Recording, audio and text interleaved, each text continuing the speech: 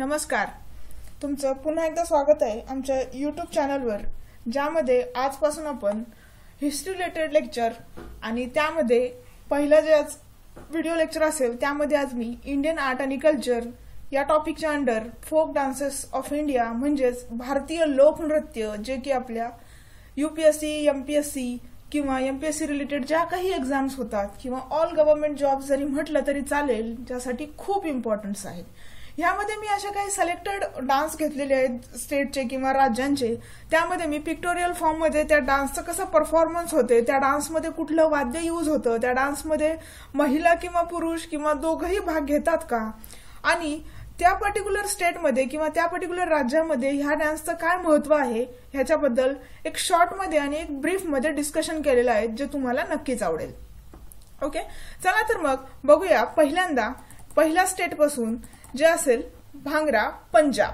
आता पंजाब हे जे स्टेट आहे त्यामध्ये सगळ्यांनाच माहिती आहे की भांगडा डान्स हा खूप जो काही फोक डान्स आहे किंवा लोकनृत्य आहे ते खूप फेमस आहे. सगळ्यांनाच माहिती आहे. अगदी लहानपणापासून आपण ऐकलेलं आहे बघितलेलं आहे. तर मग ह्या पंजाबमध्ये किंवा ह्या जे काही भांगडा डान्स तिथं परफॉर्म केला जातो त्यामध्ये पंजाब हे खूप पॉप्युलर स्टेट आहे आणि ह्या स्टेटमध्ये हे भांगडा डान्स काय करतात करतात परफॉर्म करतात. त्यामध्ये मग म्युझिकल इन्स्ट्रुमेंट म्हणजेच जे काही वाद्य आहेत ते कुठले वापरले जातात? तर तबला आहे ढोलक आहे. त्यानंतर चिमटा आहे आणि जे काही बाकीचे डान्सेस सॉरी जे काही बाकीचे इन्स्ट्रुमेंट्स आहेत ते पण यामध्ये यूज होतात. आणि हा केव्हा परफॉर्म केला जातो किंवा केव्हा सादर केला जातो तर वेडिंग्समध्ये स्पेशली आणि दुसरं म्हणजे जे काही सोशल फेस्टिवल असतील किंवा सोशल काही त्यांचे इव्हेंट्स असतील त्यावेळेस काय करतात हा भांगरा डान्स तिथं परफॉर्म केला जातो. पुढचा एक डान्स आहे झुमर हा सुद्धा पंजाबचे रिलेटेडच आहे. तर मग हा केव्हा परफॉर्म करतात तर हा जेव्हा नवीन एक पिकं उत्पन्न म्हणजे जे म्हणतो हार्वेस्ट सीझन म्हणतो किंवा जे आपली कापणी हो, होते वगैरे धान्यांची नवीन धान्याची त्यावेळेस हा डान्स तिथे काय करतात? परफॉर्म करतात. ह्यामध्ये एक स्लोअर आणि रिदमिक एक म्युझिक असते आणि त्या म्युझिकच्या अंडर काय करतात? स्त्री आणि पुरुष म्हणजे both men and male and female दोन दोघंही डान्स करतात तिथं. मग ह्या ह्या कुठल्या जे काही सॉंग्स आहेत त्यावर कुठले सॉंग्स वाजवले जातात? तर जसं की लव्ह आणि इमोशन्स म्हणजे प्रेमाची आणि एकदम भावनिक सॉंग्स तिथं ऐकवली जातात आणि त्यावर काय करतात? स्त्री आणि पुरुष ह्या डान्सवर परफॉर्म करतात. आणि सर्वात महत्वाचं म्हणजे हा सर्कलमध्ये म्हणजे गोल राऊंडमध्ये काय केला जातो? परफॉर्म केला जातो. तर मग हा होता दुसरा डान्स झुमर जो की पंजाबशी रिलेटेड आहे. पुढचा डान्स आहे त्याला आपण गिद्धा म्हणतो. त्यालाच पंजाबचाच डान्स आहे हा. आणि हा डान्स जो आहे खूप इम्पॉर्टंट आहे. तर आपण खूप कन्फ्यूज होतो की जसं भांगडा बघितलं किंवा झुमर बघितलं यामध्ये पुरुष सुद्धा सहभागी होतात. पण गिद्धा असा डान्स आहे ज्या फक्त आणि फक्त बायकाच परफॉर्म करतात किंवा तिथील वुमेनच परफॉर्म करतात. आणि हा पण हार्वेस्टिंगच्या टाइमवरच होतो ओके आणि सगळ्यात महत्वाचं म्हणजे ह्यामध्ये ज्या स्त्रिया आहेत त्या त्यांची जे काही एक कल्चरल त्यांचा पोशाख आहे जसं एक पटियाला टाईपचा ड्रेस डोक्यावर ओढणी वगैरे आणि हातामध्ये एक एक कॉमन त्यांची एक पूर्ण ड्रेसिंग असते आणि त्या ड्रेसिंगमध्येच काय करतात ह्या डान्सचं परफॉर्मन्स होतं. ओके पुढचा डान्स आहे जे की दांडिया रास हा गुजरातशी रिलेटेड आहे आणि आपल्याला पण हा बऱ्याचपैकी ओळखीचा आहे किंवा बऱ्याच अंशी आपण याच्याशी काय आहोत? ओळखीचे आहोत. तर दांडिया रास जो की नवरात्रीच्या वेळेस परफॉर्म करतात ह्यामध्ये खूप सिंपल आणि एक रिदमिक म्युझिक प्ले केलं जातं आणि त्याच्यामध्ये यंग जे काही पीपल्स आहेत जसं मुलं आहेत मुली आहेत ओके स्त्री पुरुष दोघं सुद्धा काय करतात? यामध्ये एका गोल राऊंडमध्ये काय करतात? दांडिया खेळल्या जातात. ओके आणि आणि दुसरं महत्वाचं म्हणजे यामध्ये हातांचा सुद्धा वापर केला जातो. जसं हात टाळ्या वगैरे वाजणे. ओके हे झालं आपलं दांडिया रास गुजरात. दुसरा डान्स आहे गरबा. आता दांडिया रास आणि गरबामध्ये फरक आहे. यामध्ये हा वुमेन फोक डान्स आहे. यामध्ये पुरुष पण सहभागी होतात. परत दुसरी महत्वाची गोष्ट की हे रिदमिक क्लॅपिंग पण आहे. म्हणजे एका म्युझिकच्या तालावर टाळा सुद्धा वाजून परफॉर्म केला जातो. एक सर्क्युलर राऊंडमध्ये गोल फिरला जातं आणि तिथं काय होतं? या डान्सचं परफॉर्मन्स होतं. महत्वाचं म्हणजे नवरात्रीमध्ये आणि होळीमध्ये सुद्धा हा डान्स खेळला जातो किंवा केला जातो. आणि हे जे काही गरबा ह्याला नाव देण्याचं जे कारण आहे ते म्हणजे गरबा दीप असतो. एका मंदिरामध्ये किंवा तेथील जे काही मंदिर असतात हा मातीपासून बनवलेला असतो आणि ह्याच्या गोल अंडर असं फिरून तिथे काय करतात हा गरबा डान्स तिथं परफॉर्म केला जातो. म्हणूनच याचं नाव आहे गरबा. आणि गरबा हा कुठला डान्स आहे तर गुजरातचा डान्स आहे. खूप वेळेस खूप साऱ्या एक्झाम्समध्ये जोड्या लावामध्ये डान्स विचारले जातात आणि त्यासाठी डान्स आपल्यासाठी खूप महत्त्वाचे आहे. जसं क्लासिकल डान्सेस महत्त्वाचे आहे जसं कुचिपुडी आहे भरतनाट्यम आहे तसंच फोक डान्सेस सुद्धा खूप महत्त्वाचे आहेत. ओके चला तर पुढचा डान्स बघूया जो की परत गुजरातचाच आहे आणि त्याला म्हटलं जातं भवाई.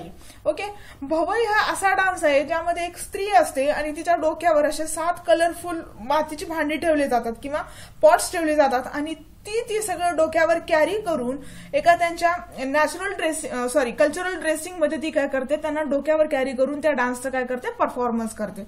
आणि जे आपण तुम्ही इथं पिक्चरमध्ये पाहू शकता की बाकीचे जे काही लोक आहेत तिथं ते काय करतात? तिला म्युझिक देतात. आणि त्या त्या नृत्य त्या म्युझिकवरती काय करते? तिचं नृत्य परफॉर्म करते. आणि याला काय म्हटलं जातं? भवई जो की गुजरातचा डान्स आहे. परत एकदा. ओके पुढचा जो डान्स आहे तो आहे बिहू आसामचा. आता आसाम जर बघितलं तर नॉर्थ ईस्ट राज्य आहे आपलं ओके? सेवन सिस्टर्स पैकी एक आहे. आणि या आसाममध्येच हा रिजनल फेस्टिवलला केला जातो परफॉर्म त्यांचे जे काही रिजनल फेस्टिवल्स असतात जे काही असतील त्यामध्ये हा आसामचा जो बिहू डान्स आहे तो आसाममध्ये परफॉर्म केला जातो. यामध्ये दोघंही पार्टिसिपेट करतात. जसं मेन आणि वुमेन दोघांचंही पार्टिसिपेट असतं. आणि जे काही यांच्या ह्याच्यामध्ये एक ढोलकी आणि परत एक इथं तोंडाने वाजवणारे एक वाद्य आहे त्याच्यावर काय करतात? बायका डान्स करतात ओके ज्या काही लेडीज किंवा मेन्स असतात वुमेन असतात त्या काय करतात? तिथं परफॉर्म करतात. आणि जे काही पुरुष असतात त्यांना काय करतात? जे काही त्यांचे वाद्य आहे त्यांच्यावर संगत देतात ओके पुढचा जो डान्स आहे आपला तो आहे छाऊ डान्स जो की ईस्टर्न इंडियाचा आहे. छाऊ डान्स तुमचा परत झारखंडमध्ये पण परफॉर्म केला जातो बेंगॉलमध्ये पण म्हणजेच वेस्ट बेंगॉलमध्ये पण परफॉर्म होतो आणि नंतर म्हणजेच ओरिसा. म्हणजेच ओडिसा हे जे काही राज्य आहे त्यामध्ये या तिन्ही राज्यामध्ये तीन वेगवेगळ्या स्टाईल्समध्ये परफॉर्म होतो. जसं की केला आहे तो की झारखंडमध्ये होतो. पुरुलिया आहे तो बेंगॉलमध्ये परफॉर्म केला जातो. आणि जे काही मयूरभंज ओरिसा आहे ओके मयूरभंजचं एक मयूरभंज डिस्ट्रिक्ट आहे ओरिसा त्यामध्ये पुरुलिया डिस्ट्रिक्टमध्ये सुद्धा हा डान्स परफॉर्म केला जातो. ओके मयूरभंजमध्ये तर होतो झारखंडमध्ये पण होतो आणि बेंगॉलमध्ये पण होतो. आणि सगळ्यात महत्वाचं म्हणजे ह्यामध्ये खूप मोठे मोठे असे मास्क लावले जातात. इथं तुम्ही पिक्चरमध्ये बघू शकता की एक देवीचं मास्क आहे जसं आपली आपण नवरात्रीमध्ये ज्या देवी बसवतो किंवा मूर्ती बसवतो त्या देवीचा एक मास आहे. इकडे जर बघितलं तर नरसिंह अवतारातील एक मास आहे. इकडे खाली एक सिंहाचं मास्क लावलेला पण एक जे काही परफॉर्मर आहे किंवा ऍक्टर आहे तो तिथं परफॉर्म करतोय ओके छाया छाऊ म्हणजे काय? छाया. त्याचं मिनिंग काय होतं? छाया. किंवा त्यालाच आपण शॅडो किंवा मास सुद्धा म्हणतो. आणि त्यावरूनच त्याला नाव दिलेलं आहे छाऊ डान्स ओके आणि हा ईस्टर्न इंडियामध्ये परफॉर्म केला जातो. हा मार्शल डान्स पण आहे ज्यामध्ये फक्त male dance with use of mask okay जे काही पुरुष असतात पुरुष मंडळी असतात ते मास्क लावून काय करतात? तिथे डान्स डान्स परफॉर्म करतात. आणि सगळ्यात महत्वाचं म्हणजे हे तीनही स्टेट परफॉर्म केले जाते किंवा तिन्ही स्टेटमध्ये ह्याला काय करतात? परफॉर्म करतात. जसं वेस्ट बेंगॉल आहे ओरिसा आहे आणि झारखंड आहे. मग आता ह्यामध्ये थीम कुठला यूज करतात? तर सगळ्यात महत्वाचं म्हणजे रामायण महाभारत आणि जे काही आपले जुने पुराणे पुराण आहेत आपले ओके जे काय असतील ते त्यामधील ज्या काही थीम्स असतात त्या वापरल्या जातात ओके तर हा आहे छाऊ डान्स आणि छाऊ नाव कशा कशावरून पडलेलं आहे छाया किंवा शॅडो किंवा मास्क यावरून काय म्हटलेलं आहे त्याला? छाऊ डान्स ओके पुढचा जो डान्स आहे तो आहे पदायानी जो की केरळामध्ये असतो. फोक डान्स आहे केरळाचा. आणि तिथले जे काही रिजनल टेम्पल्स आहेत आता कुठलेही टेम्पल्स असतील देवींचे देवतांचे तिथे काय केला जातो? हा स्पेशली परफॉर्म केला जातो. जे काही डिस्ट्रिक्ट आहेत त्या चार डिस्ट्रिक्टमध्ये खूप मोठ्या प्रमाणामध्ये हा परफॉर्म होतो. जसं की कोट्टायम आहे किलोम आहे पथानमिथल आहे आणि अलेपी डिस्ट्रिक्ट आहेत. ओके थोडी प्रोनाऊन्सिएशन अवघड आहे चुकू शकतात. तर तुम्ही एकदा परत वाचून घ्या ओके? कोट्टायम किलोम पत्तानामथी आणि अलेप्पी हे जे काही डिस्ट्रिक्ट आहेत केरळाचे तिथं हा डान्स मोस्ट ऑफ द प्रमाणामध्ये काय केला जातो? परफॉर्म केला जातो. ह्यामध्ये पण मास्क यूज मास्क यूज करतात. आणि ते वेगवेगळ्या शेप्सचे असतात ओके इथं तुम्ही पिक्चरमध्ये पाहू शकता. आणि त्यानंतर काय करतात त्यावर ते परफॉर्म केला जातो डान्स हा कुठला डान्स आहे? तर हा पदयनी डान्स आहे जो की केरळाच्या चार डिस्ट्रिक्टमध्ये काय करतात परफॉर्म करतात. यामध्ये सुद्धा मास्क यूज करतात आणि मास्क यूज झाल्यानंतर ते काय करतात त्या डान्सवर त्याचा परफॉर्मन्स करतात. ओके पुढचा जो डान्स आहे तो गोर म्हणजेच मध्य प्रदेशचा आता हा जो काही डान्स आहे हा पण परत फोक डान्स आहे म्हणजेच लोकनृत्य आहे.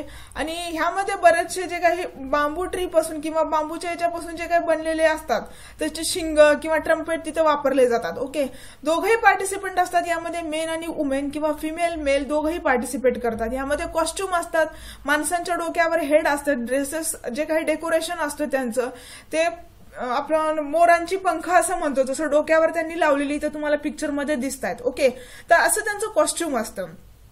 आणि खूप साऱ्या व्हरायटीज असतात या डान्स प्रकारामध्ये. आणि सगळ्यात महत्वाचं म्हणजे जे काही बेसन जे असतं म्हणजे एक काय म्हणता येईल एक जंगली म्हशीचा जो प्रकार आहे ते काय करतात तिथं त्याच्या रिलेटेड तिथं त्यांचं गेटअप असतं किंवा जे काही त्यांचं मेकअप असतं ते त्यावर काय करतात हा डान्स परफॉर्म करतात. आणि म्हणूनच त्याला काय म्हटलं जातं गोड डान्स आणि हा गोड डान्स कुठं परफॉर्म करतात? कुठलं फोक डान्स आहे तर मध्य प्रदेश. ओके मध्य प्रदेश हे स्टेट आपल्या म्हणजेच महाराष्ट्राच्या नॉर्थ साईडला आहे. ओके? आपली जी काही नॉर्थ सीमा आहे जी काही उत्तर सीमा आहे महाराष्ट्राची ती मध्य प्रदेशला टच करते. जसं नंदुरबार आहे गडचिरोली वगैरे असे जे काही आपले डिस्ट्रिक्ट आहेत ते तिथं काय करतात? टच करतात ओके? आणि गोर डान्स मध्य प्रदेशचाच आहे. पुढचा जो डान्स आहे तो म्हणजे कुंभी. आता कुंभी हा तामिळनाडूमध्ये परफॉर्म केला जातो. तर सगळ्यात महत्वाचं म्हणजे यामध्ये मोस्टली जे काही स्त्रिया असतात त्याच परफॉर्म करतात. किंवा पार्टिसिपंट जे असतात त्याच परफॉर्म करतात. स्त्रियाच असतात ओके कुठं केव्हा केला जातो तर हा खूप साऱ्या प्रमाणामध्ये जे काही टेम्पलचे फेस्टिवल्स असतात ओके जे काही देवी देवतांचे मंदिर आहेत तेथील. आणि सगळ्यात महत्वाचं म्हणजे पोंगल ओके पोंगलच्या वेळेस आणि जे काही टेम्पल फेस्टिवल्स असतात त्यामध्ये त्यावेळी हे हा डान्स काय असतो? परफॉर्म केला जातो. यामध्ये काय करतात इथं तुम्ही चित्रामध्ये बघतायस किंवा इमेजमध्ये बघतायस की खूप साऱ्या बायका एक राऊंड सर्कलमध्ये हातात मी टाळ्या वाजवत काय करतात डान्स करतायत आणि पुढे पुढे एका रिदममध्ये काय आहेत? त्या सरकत आहेत. ओके एक स्त्री पुढे जाते तिच्यानंतर मागून मागून अशा काय होतात सरकत होतात. आणि इथंच ह्या डान्सचं काय केलं जातं? परफॉर्म केलं जातं. खूप सारे सॉंग्स यामध्ये यूज केले जातात. आणि जे की बायका तिथं स्वतः म्हणतात किंवा जे काही असतील त्यांचे जे काही कल्चरल असतील ते तिथं यूज केले जातात. ओके तर कुंभी डान्स हा कुठल्या रिले कुठल्या स्टेटचा आहे? तर हा तामिळनाडू रिलेटेड आहे. नेक्स्ट आहे परत हा सुद्धा तामिळनाडू रिलेटेड आहे आणि ह्याला म्हणतात थेरुकुथू. ओके थेरुकुथू हा जो डान्स आहे तो तामिळनाडूचाच आहे. परत मग हा कधी परफॉर्म केला जातो? तर मग जे काही विलेजेसचे फेस्टिव्हिटीज असतात किंवा विलेजेसचे जे काही फेस्टिवल्स असतात तेथील लोकल जसं मंदिरातील आहेत किंवा जे काही पोंगल वगैरे अशा काही जे काही सण असतील सणवार वगैरे त्यावेळेस काय करल्या जातात? हा परफॉर्म केल्या जातात. सगळ्यात महत्वाचं म्हणजे यामध्ये दोघंही परफॉर्म करतात. म्हणजेच मेन आणि वुमेन दोघंही पार्टिसिपेंट असतात. तर मग थेरुकुत्तू हा डान्स तामिळनाडूचा आहे. मेनली कधी परफॉर्म केला जातो तर फेस्टिव्हिटी जे काही विलेजचे फेस्टिवल्स असतात त्यावेळेस परफॉर्म केले जातात. आणि दोघंही यामध्ये काय असतात? पार्टिसिपेंट्स असतात. पुढचा जो प्रकार आहे तो म्हणजे यक्षगान. ओके यक्षगान आणि हा मेनली कर्नाटकमध्ये परफॉर्म केला जातो. इकडे इमेजमध्ये तुम्ही बघू शकता की जे काही त्यांचं जे गेटअप आहे जे मेकअप आहे त्यांचे जे काही पोशाख आहे तिथे त्यांनी एका इमेजमध्ये मी दाखवली आहे तुम्हाला. त्यावरून तुम्हाला बरंचसं लक्षात येईल. ओके हा एक म्युझिकल डान्स असतो. म्युझिकल डान्स ड्रामा बेस्ड असतो जो की रामायण आणि महाभारत मधल्या ज्या काही गोष्टी आहेत किंवा ज्या काही थीम्स आहेत त्यावर काय केला जातो हे परफॉर्म करतात. ओके? आणि सगळ्यात महत्वाचं म्हणजे यामध्ये जे काही भगवान विष्णू आहेत म्हणजे त्यांच्या जे काही कथा आहेत किंवा त्यांच्या ज्या रिलेटेड जे काही साहस्य कथा आहेत त्यावर काय केला जातो? हा परफॉर्म केला जातो. यामध्ये सगळ्यात महत्वाचं म्हणजे फुटवर्क आहे हातवारे आहेत हे जे काय असतात ना ते टोटली ऍबसेंट असतात. म्हणजे एक असं एक टोटली एक असं डोळ्यांनी वगैरे जसं म्हणतो ना आपण त्यानुसारच हे काय केलं जातं परफॉर्म केलं जातं.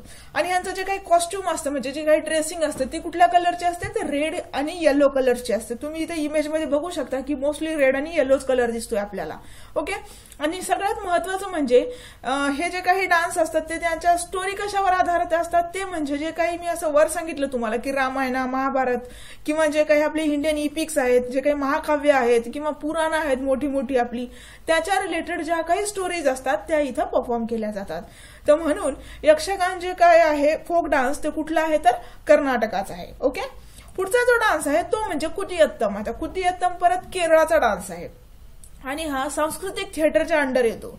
जे की जवळपास याला किती हजार वर्षांची जी काही हे परंपरा आहे ती एक सांस्कृतिक परंपरा जी म्हणतो आपण जी जवळपास दोन हजार वर्ष जुनी आहे ओके?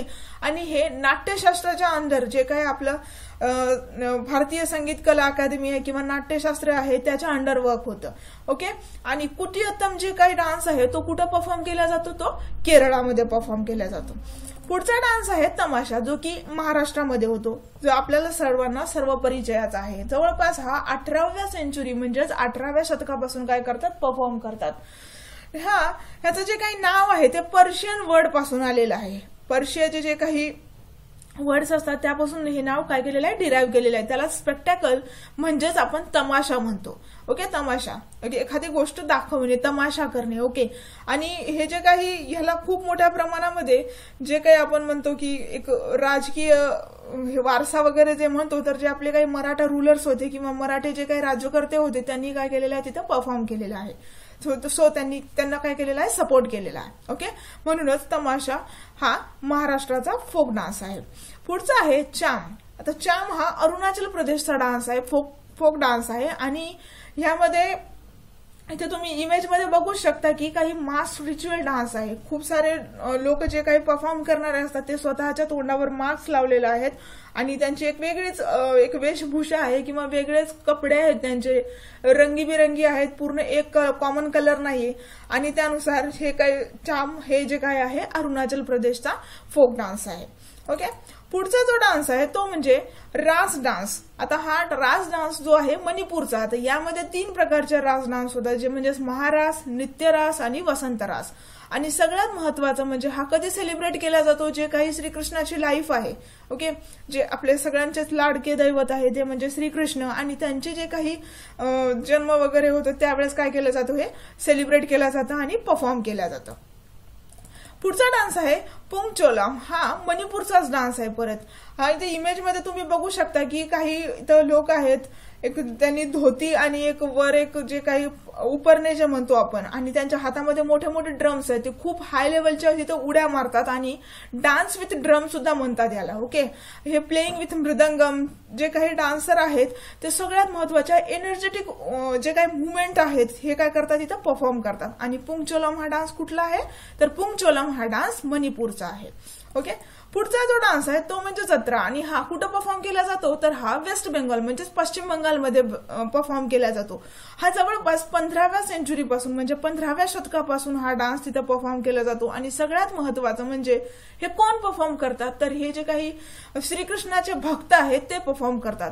यालाच यात्रा किंवा जत्रा असं म्हणतात. आणि जे काही एक धार्मिक स्थळ आहे त्यामध्ये काय केलं जातं?